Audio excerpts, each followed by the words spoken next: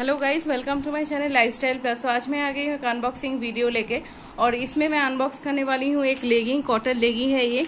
तो ये लेगिंग खोल के अभी देखेंगे कि कैसा आया है। ये पार्सल अभी खोल के देखती हूँ कि कैसा आया है। इसका प्राइस मुझे आया है almost around one hundred and eighty seven rupees तो अभी मैं खोल के देखूँगी कैसा आया है। इसमें होना चाहिए एक ब्लैक कलर का लेगिंग लेगिंग में तो इतना कुछ खास पैकेजिंग की ज़रूरत नहीं है। तो बहुत ही एक कॉमन क्वालिटी लेगी लेगिंग है। बहुत अच्छा क्वालिटी तो मैं नहीं बोलूँगी। मैंने फ्री साइज़ का ऑर्डर किया है।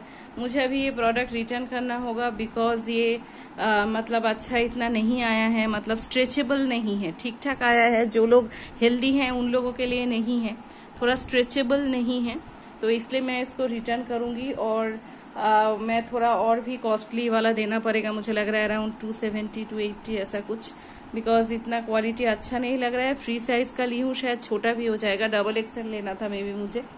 तो एनी हाउ बहुत अच्छा तो नहीं है क्वालिटी अगर आप लोगों को चाहिए ये प्रोडक्ट तो अब मैं शेयर कर दूँगी।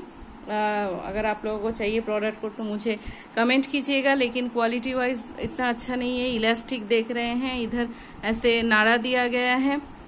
और स्टिचिंग वगैरह भी ठीक ही है, ख़राब नहीं है, लेकिन जो मुझे मेन प्रॉब्लम लग रहा है वो ये स्ट्रेचेबल नहीं है। तो फिर चलिए इस प्रोडक्ट को इधर ही ख़त्म करते हैं, इसका रिव्यू इसके बारे में और भी अगर डिटेल्स जानना है तो मेरे चैनल पे लाइक कीजिए शेयर कीजिए सब्सक्राइब कीजिए। और कमेंट ज़रूर कीजिए। लाइक बिल्कुल नहीं जा रहा है मेरे। प्लीज़ लाइक कीजिए। नहीं तो ये चैनल प्रॉस्पर नहीं करेगा।